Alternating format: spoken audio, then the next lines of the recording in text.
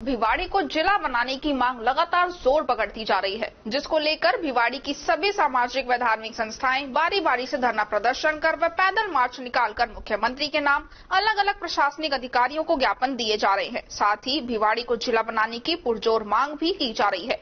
इसके तहत मंगलवार को जिला बनाओ संघर्ष समिति के बैनर तले इंडियन मेडिकल एसोसिएशन भिवाड़ी शाखा व व्यापार मंडल ने मिलकर पैदल मार्च निकाला। यह पैदल मार्च आशियाना बगीचा से शुरू होकर होकर बीड़ा ऑफ़िस तक पहुँचा। बीड़ा ऑफ़िस पहुंचकर सभी लोगों ने बीड़ा सीईओ श्वेता चौहान को मुख्यमंत्री के नाम ज्ञापन दिया। पैदल मार्च के दौरान भिवाड़ी को जिला बनाओ मुख्यमंत्री होश में आओ के नारे भी लगाए गए। दिए गए ज्ञापन में बताया गया है कि जब मुख्यमंत्री के द्वारा 19 जिलों की घोषणा की गई थी तो उसमें पहले भिवाड़ी को जिला बनाने की पूरी संभावनाएँ लग रही थी। लेकिन अचानक से भिवाड़ी का नाम ही नहीं आना अपने आप में एक आश्चर्य की बात है, क्योंकि भिवाड़ी हर लिहाज से जिला बनने के सभी मापदंडों को पूरा करता है।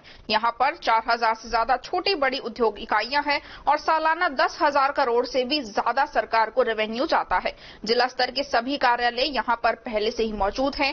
केवल प्रशासन प्रशासनिक दृष्टि से ज़िले की घोषणा ही बाकी रह गई है।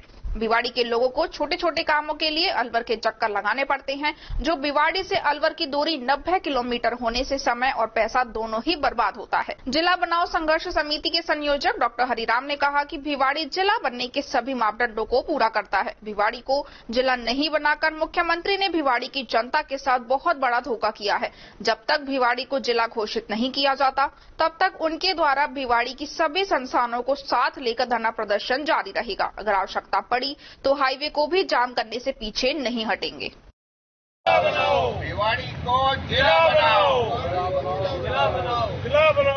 आज हमने आशियाना विलेज के गेट पर इकट्ठा होकर, जिसमें मेनली आज का ऑर्गेनाइजेशन आईएमए भिवाड़ी कर रहा है, और आशियाना विलेज के रेजिडेंट और बाकी और सोसाइटी जो हमारी संस्थाएँ जुड़ी हुई हैं, उनके प्रतिनिधि आए हुए हैं। वो सब मिलकर यहाँ पर सबने इकट्ठे होकर जिला बनाने की ज़रूरत और राज्य सरकार से हमें किस तरह से डिमांड करनी है आगे का संघर्ष कैसे करना है इस पर विस्तृत चर्चा की और रूपरेखा तैयार की। उसी के संदर्भ में यहाँ से निकलकर हम बीडा ऑफ़िस में बीडा के सीईओ साहब को ये ज्ञापन देंगे मुख्यमंत्री जी के नाम से और भिवाड़ी को जिला बनाने के लिए। और ये संघर्ष हमारा लगातार लंबे टाइम तक चलेगा जब तक भिवाड़ी नहीं बन, जिला नहीं बन जाता। कल भिवाड़ी व्यापार मंडल electric association, Bhiwadi hardware association, Bhiwadi की ज्वेलर्स एसोसिएशन, भिवाड़ी की मोबाइल एसोसिएशन और अन्य व्यापारी संगठन हैं, जैसे रेडीमेड गारमेंट एसोसिएशन। इन सबने मिलकर कल सुबह 11 बजे शाम वाटिका में इकट्ठे होंगे, इस विषय पर चर्चा करेंगे, इस मुहिम को समर्थन देंगे और साथ में अपने अपने लेटर हेड पर मुख्यमंत्री जी के नाम ज्ञापन देंगे बीडा ऑफ़िस में पहुंचकर।